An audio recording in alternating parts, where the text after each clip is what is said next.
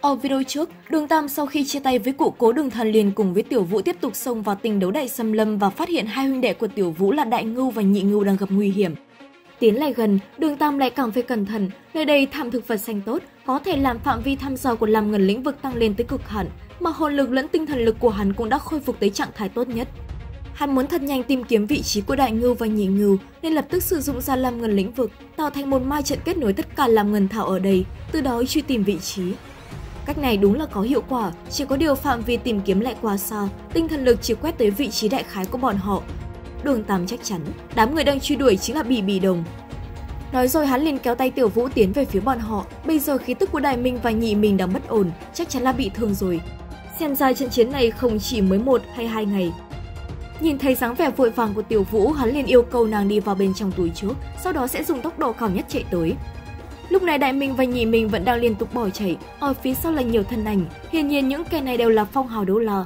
Mặc dù hai đại hồn thú đều là 10 vạn năm, thực lực mạnh hơn các phong hào đấu la bình thường. Vậy nhưng mà đối thủ lại quá đông và cường hãn, kỹ năng chỉ hoãn lĩnh vực của đại ngư cũng chỉ khiến đám người bên kia chỉ chạy trong một lát. Rất nhanh sau đó, bọn họ tiếp tục đuổi theo, trong số đó Cúc Đấu La và Quỷ Đấu La có vũ hồn dung hợp kỹ ngưng động thời không.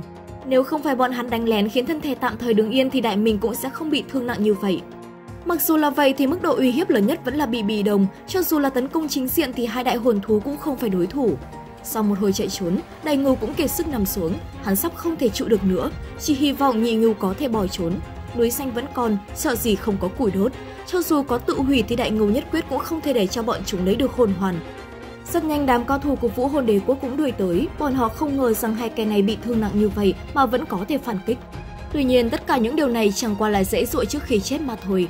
Ngay khi Bì Bì Đồng xuất hiện thì tình thế đã khác. Nàng biết thực lực mạnh mẽ như vậy cũng đồng nghĩa rằng hồn hoàn và hồn cốt của Đại Minh và Nhị Minh là hàng cực phẩm.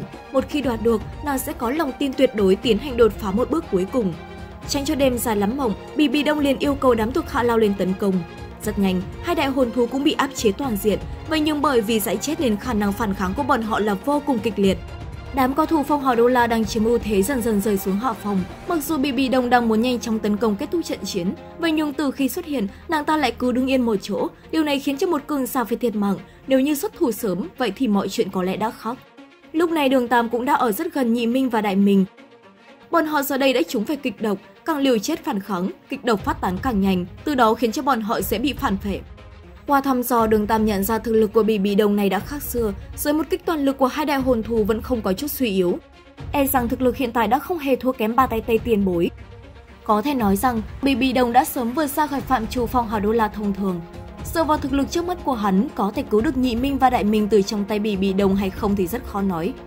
Bất luận là cấp bậc hồn hoàn, hồn cốt, hắn đều thấp hơn đối thủ.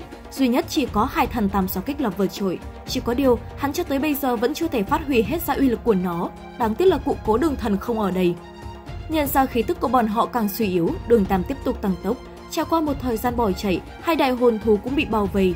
Bì bì đồng chậm rãi đi tới, đồng thời không quên khen ngợi. Có thể kiên trì thời gian dài như vậy đã không dễ dàng, bây giờ cũng nên ngã xuống thôi trở thành hồn hoàn cùng hồn cốt của nàng chính là vinh hạnh của bọn họ. Lời này được thốt ra cũng là lúc tập phim khép lại. Cảm ơn các bạn đã bỏ thời gian quan tâm và theo dõi. Rốt cuộc chuyện gì sẽ xảy ra tiếp theo? Mời mọi người đón xem nhé. Xin chào và hẹn gặp lại!